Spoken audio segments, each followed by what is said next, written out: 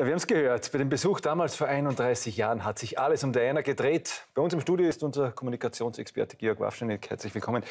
Wenn jetzt Prinz Charles mit Camilla an seiner Seite nach Wien kommt, wird sich dann eher mehr auch um ihn drehen? Da mache ich mir diesmal weniger Sorgen um ihn. Äh, also Camilla und äh, Prince Charles sind ja, sage ich mal, vom charismatischen Level her ähnlich, sind nicht beide unbedingt die spannendsten.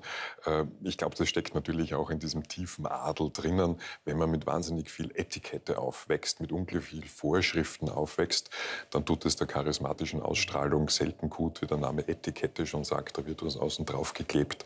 Da tut man sich dann ein bisschen schwer mit Ecken und Kanten. Also ich glaube, die werden sich diesmal nicht sehr im Weg stehen. Der Unterschied zu damals ist der einzig und allein dem Charisma von Diana zu verdanken oder ist da nicht auch mittlerweile schon sehr viel Mythenbildung dabei?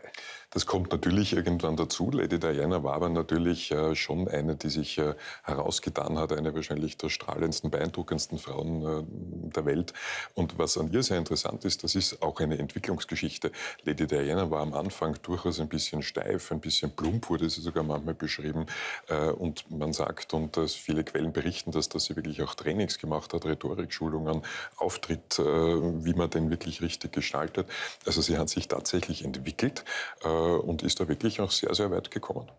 Jetzt ist das Charisma von Charles und Camilla überschaubar, wie Sie sagen. Trotzdem ziehen die beiden die Menschen an. Wie ist das wiederum zu erklären? Hat das mit, mit dem Adel zu tun? Oder? Ja, großes Kino. Also wenn man jetzt, egal ob das die adelige Familie von äh, Lady Diana, die Spencers waren oder die Familie von Camilla Parker Bowles, äh, das sind ja, da könnte man ganze Kinofilme abendfüllend bestreiten damit.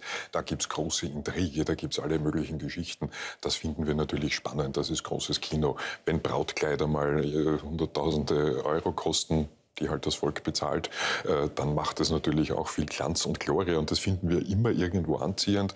Was für uns ein bisschen tröstlich ist, wenn die sich dann scheiden lassen oder wenn die Ärger haben, dann sitzen wir natürlich zu Hause und sagen, schau, der Hüftalte ist nichts, sind auch nur Menschen. Das ist ein bisschen für die Psyche auch wohltuend.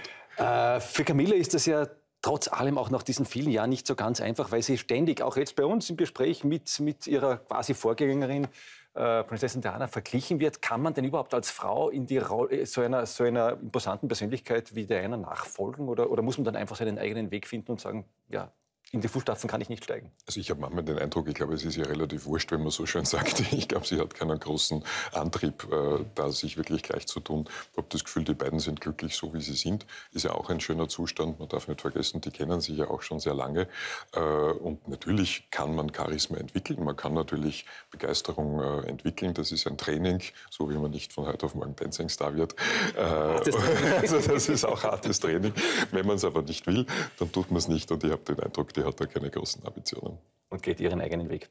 So Wir werden sehen, was dieser Besuch bringt. Herzlichen Dank für die Analyse, Georg Waffneck, und das Besuch bei uns im Studio. Danke.